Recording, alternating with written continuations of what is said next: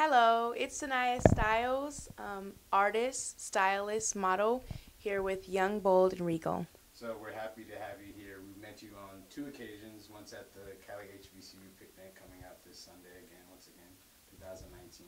And then of course seeing you as a model at the LA, um, LA Movement Fashion Week during BET Yes. Awards weekend. But we want to know, um, how did you get started in all your interests as far as being a model, as far as being artist, as far, as far as wanting to be a fashion design, d- designer? You know, I started at a very young age wanting to um, have this as a goal of mine and just it, it sprouted from there. It started as a fashion designer and then went further with being an artist and a model just just with my to start my foundation. That's what I felt like was needed to learn how to draw and to learn how to model.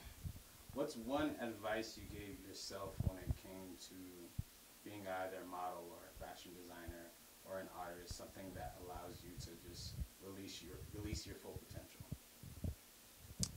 Well, I always stay motivated every day. I had to make sure that I stay motivated, knowing that it's all possible and that whatever I um I want, I can go get it as long as I work hard enough. So uh, I know that it's there for me. I just know I have to get it. So every day I try to stay motivated, knowing that I can, staying confident, and just you know being bold and doing it.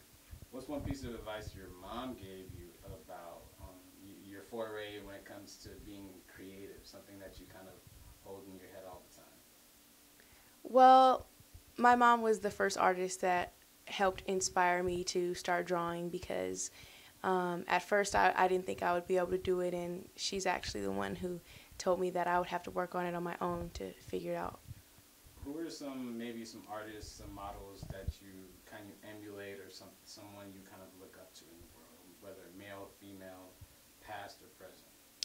I look up to Beyonce always. I always have looked up to Beyonce, and I also look up to Chris Brown. He's always working just as Beyonce. She's always working and doing it to her best. What are what are some three qualities you love most about Beyonce? Something that you're always thinking like she's always these three things. She's always on point with everything that she does no matter if it was um well i watched her performance at coachella and that was amazing. I watched um, how much work she put into it and to me it came out like phenomenal. She's always working her best. That um, that is what I, I do all the time and just to have that quality and she's she's working more than just being a singer. She's sprouting it out and doing a lot of other things and she allows herself some time for her family So, what are some three qualities you would describe yourself as a creative under the umbrella of you being a model, an artist, a fashion designer? Well, I'm persistent. Um, I'm confident, and I'm motivated. Very determined. We saw that, that, that confidence, that motivation with you walking in the Movement LA fashion show. Why don't you discuss with us a little bit more about your future goals as far as being a model, being in the modeling world? What do you want to accomplish? Well, I want to have um, multiple companies uh, for different reasons spread across the United States and just pretty much the whole world. Um, I wouldn't want to limit myself to just the United States. I, I want to have um, a company that, you know, um, emulates Chanel. I'm very, um, I look up to Chanel a lot. Then I remember you mentioned once upon a time that you would want to, we would love to walk in Paris Fashion. I would. So let's say if you're walking in Paris Fashion you just walked for Chanel. What other production houses do you want to walk work for? Uh, for fashion houses, Givenchy, um, the new Fenty line with with, with Rihanna, um, Balenciaga. Who else would you and look up to as far as fashion houses? Well, everyone that you just named just now. Um, I also look up to Fendi. I love their style as well.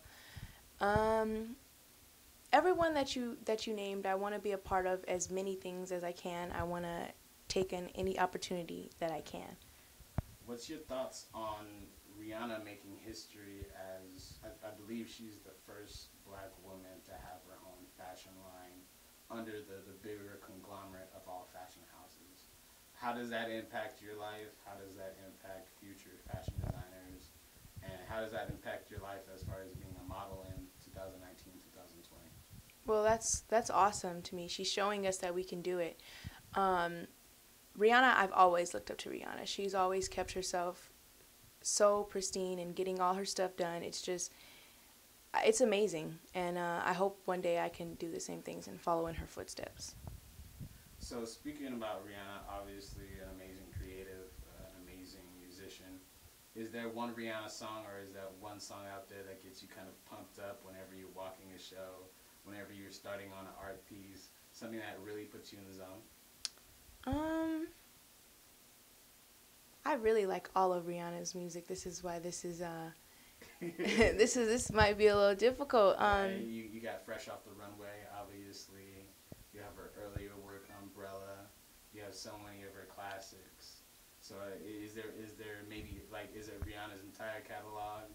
Um, it- a lot of her music. Umbrella has always been something for me because you know I, I grew up to Rihanna, so I- I can just see myself now um, singing and dancing to her song when I was very little. So always. Speaking about uh, musicians and creatives, what do you feel is the job as the artist's uh, position when it comes to showcasing their art?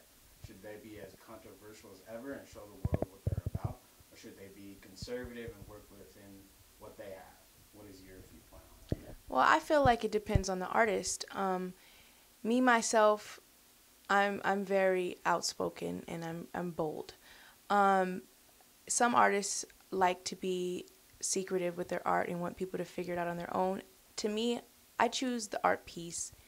It's based off of the piece to me. Um, some pieces I might not want to say much about, and some pieces I'll lay it out on the table. But what I do love is to open it up to perception. Anybody, I would like to hear their view before I tell them mine. So speaking about being bold, of course, it's young, bold, and regal. What's the boldest move you've done in your career, in your in your, in your young life? Um, there's a lot of bold moves. Uh, every move that I do is bold because I like to jump on opportunities. Um, the boldest move is to, you know, if I see that there's an opportunity to go and network, uh, if I'm on the list, if, uh, you know, whatever the case may be, I'm going to be there regardless. So any opportunity, I take it and make it mine. So basically, if I if I see an opportunity to network, I take the bold move and I, I get there. All right, perfect. So you're on the list. You're going to the most amazing uh, like parties or fashion house shows in the world. You see Beyonce. Beyonce introduces herself. She doesn't have to because she's Beyonce, but she's courteous and nice. What are the first things you're gonna say? What are you gonna wh- What are you gonna say about yourself to her? Well, other than the fact that I look up to her, which I'm sure she has so many people that look up to her, um, I just want to I want to give her I want to let her know that she she did it and it, it's it's she's at the highest point that I can see for myself. So she's just moving up and up. To me, I just want her to know that she's she's I, I see her doing it and I acknowledge all the hard work that she's done and it's been very helpful to me within myself. I want to let her know that she's